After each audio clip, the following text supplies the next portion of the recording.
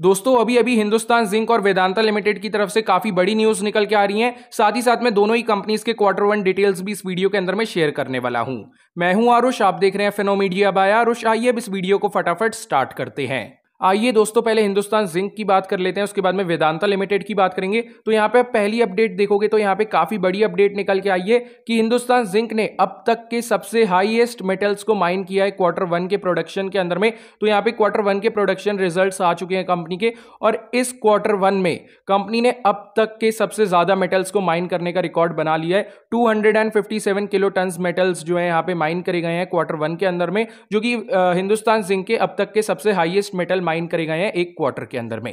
अगर आप यहाँ पे क्लियरली देखोगे तो यहाँ पे दो माइंस कंपनी की काफ़ी ज़्यादा प्रॉफिटेबल साबित हुई है। एक तो ओवर प्रोडक्शन सबसे ज़्यादा रामपुरा अगूचा के अंदर में हमें होती हुई देखने को मिली है और कयाद माइंस के अंदर में।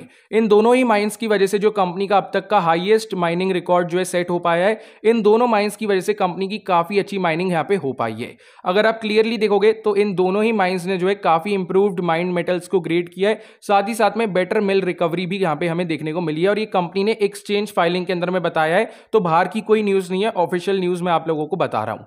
अब आइए बात कर लेते हैं वेदांता की। तो वेदांता का जो जिंक प्रोडक्शन है, वो एक परसेंट अप क्वार्टर वन के अंदर में लास्ट क्वार्टर से अगर आप कंपेयर करोगे, और जो सेलेबल ओर है ओर है मतलब जो कंपनी ओर को सेल करती है, जो यहाँ पे सेल हो सकता है और उसकी जो प्रोडक्शन है, वो नौ डिक्लाइन में जाती हुई देखने को मिली है। मतलब जो ऐसा और कंपनी माइन करती है, जो कि आगे सेल किया जा सकता है, उसकी जो प्रोडक्शन है, वो नाइन हमें जो है डिक्लाइन होती हुई देखने को मिली है। तो सीधी सी बात कंपनी के क्वार्टर वन के फाइनेंशियल रिजल्ट्स के अंदर में कहीं ना कहीं ये एक कुछ गड़बड़ हमें दिखा सकता है। साथ ही साथ में अगर आप देखोगे तो ग्लोबली भी डाइवर्सिफाइड है यहाँ पे वेदांता लिमिटेड और इन्होंने क्लियरली कहा कि इनकी जो ओवरऑल जिंक प्रोडक्शन है वो एक से हमें ईयर ऑन ईयर बेसिस पे इंक्रीज होती हुई देखने को मिली है। साथ ही साथ में क्वार्टर ऑन क्वार्टर बेसिस पे नाइन से हमें इंक्रीज होती हुई देखने को मिली है इनकी जिंक प्रोडक्शन बट जो यहाँ पे सेलेबल ओर है, वो यहाँ पे उसकी जो प्रोडक्शन है, वो नौ परसेंट से डिक्लाइन होती हुई देखने को मिली है। Quarter on quarter 68 kilo ton यहाँ पे हमें इंक्रीमेंट देखने को मिला है जिंक प्रोडक्शन के अंदर में। साथ ही साथ में अगर आप यहाँ पे देखोगे तो ये जो प्राइमरीली ज़्यादातर जो यहाँ पे एक्सट्रैक्ट किया गया है जिंक वो यहाँ पे ब्लैक माउंटेन माइन से किया गया है। तो मेजोरिटी ये जो हाथ है माइनिंग का, वो ब्लैक माउंटेन माइन का है। तो वेदांता के लिए ब्लैक माउंटेन माइन काफ़ी ज़्यादा प्रॉफिटेबल साबित हुई है क्वार्टर वन के प्रोडक्शन के लिए।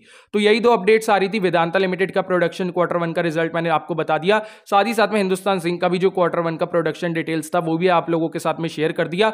अब अगर आपको वीडियो अच्छी लगी हो, वीडियो को ज़रूर से लाइक कर दीजिएगा। इस चैनल को भी ज़रूर से सब्सक्राइब कर दीजिएगा बिकॉज़ फिनोमीडिया के अंदर आपको ऐसी स्टॉक मार्केट से रिलेटेड कॉन्टेंट देखने को मिलता रहेगा। चलिए, मिलेंगे किसी और वीडियो के अंदर। Till then bye